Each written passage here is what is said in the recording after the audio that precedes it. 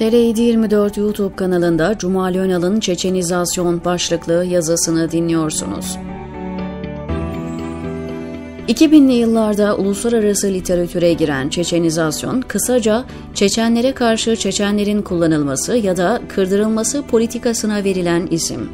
Rus lider Vladimir Putin 2000 yılında devlet başkanlığı koltuğuna oturduktan sonra Çeçenistan politikasında köklü bir değişime gitti ve önde gelen bazı Çeçenleri satın almaya başladı. Bu isimler yine Rusya tarafından düzenlenen seçimlerle iktidara geldi. Bu şekilde Çeçenistan'da başkanlık koltuğuna oturan ilk isim mevcut Çeçen lider Ramazan Kadirov'un babası Ahmet Kadirov oldu. Ancak Kadirov'un 2014'te başkent Grozny'de düzenlenen bombalı saldırı sonucu öldürülmesi ve yerine getirilen Alu Alhonov'un da yine Putin tarafından Rusya Adalet Bakan Yardımcısı olarak atanmasıyla mevcut lider Ramazan Kadirov'a yol açılmış oldu.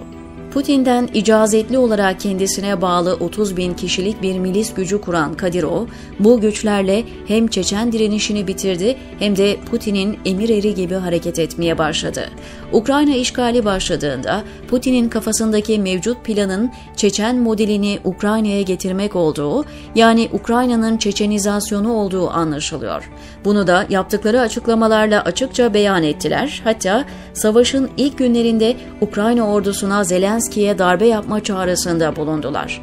Fakat hem batıdan gelen silah ve savaşçı desteği ve hem de Ukrayna ordusunun halkla el ele vererek sert bir direniş göstermesi Putin'in tüm bu planlarını alt üst etti.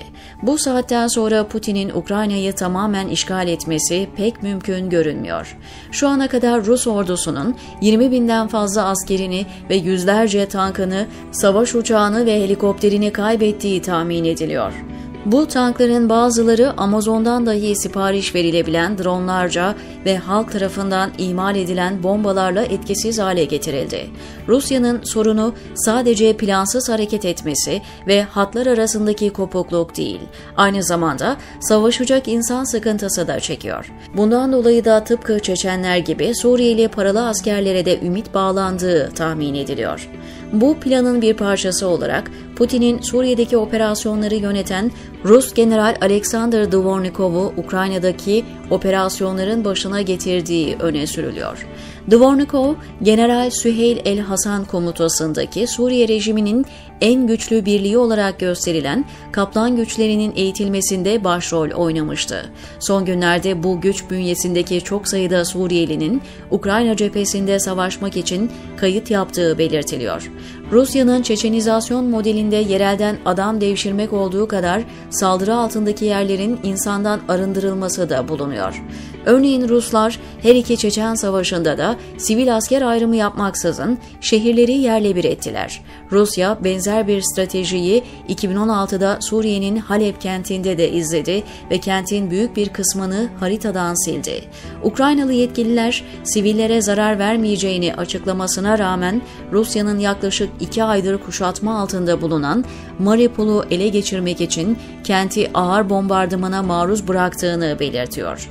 İngiltere Savunma Bakanlığı'nın internet sitesine göre Rusya kenti ele geçirmek için sivilleri hedef almakla kalmıyor, aynı zamanda kentin altyapısını da imha ediyor. Yine Savunma Bakanlığı'nın internet sitesine göre Ruslar kentte büyük bir direnişle karşılaşıyor ve kenti ele geçirmesinin çok da kolay olmadığı belirtiliyor. Mariupol'un da düşmesiyle Kırım ve Donbas bölgesi birleşmiş olacak ve Rusya belki de en önemli hedefine ulaşmış olacak. Peki Rusya hem gittikçe etkisi daha fazla hissedilen ekonomik ambargo ve hem de Batı'nın Ukrayna'nın yanında saf tutmasıyla savaşı ne kadar sürdürebilir? Veya Ukrayna savaşta tecrübe kazandıkça Rusya'nın kentlerini de hedef alabilir mi?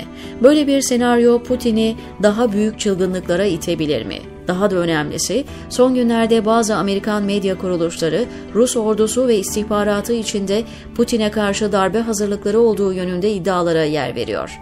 Bu riskin gittikçe artması Putin'i ne tür manevralara sürükleyebilir? Ukrayna'yı Çeçenistanlaştırma politikası tümden çöpe giden Putin'in ne tür hamleler peşinde olduğu biraz da Mariupol'un kaderiyle ilgili, diyor Cumali Önal TR724'deki köşesinde.